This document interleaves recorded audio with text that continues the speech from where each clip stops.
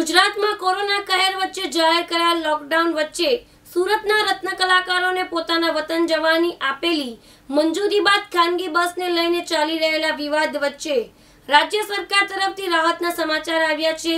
રાજ્ય સરકારે રત્ન કલાકારોને સૌરાષ્ટ્રમાં જવા માટે જીએસઆરટીસી બસની મંજૂરી આપી છે. સુરતમાં રહેતા સૌરાષ્ટ્રના રત્ન કલાકારોને બહારે રાજ્ય સરકાર આવી છે. શહેરના રત્ન કલાકારોને પોતાના વતનમાં જવા માટે અગાઉથી જ મંજૂરી આપી દેવામાં આવી હતી. જો કે રત્ન કલાકારોને પોતાના વતનમાં મોકલવાને લઈને ચાલી રહેલા વિવાદ વચ્ચે રાજ્ય સરકારે એસટી બસની મંજૂરી આપી દીધી છે. આમ સુરતથી સૌરાષ્ટ્ર જવા ઈચ્છતા રત્ન કલાકારો માટે આનંદના સમાચાર આવ્યા છે. રાજ્ય સરકારે સૌરાષ્ટ્ર જવા માટે જીએસઆરટીસી બસની મંજૂરી આપી છે. આ સાથે સરકારે ખેડૂતો અને રત્ન કલાકારોને દિવાળીના ભાડામાં લઈ જવાશે.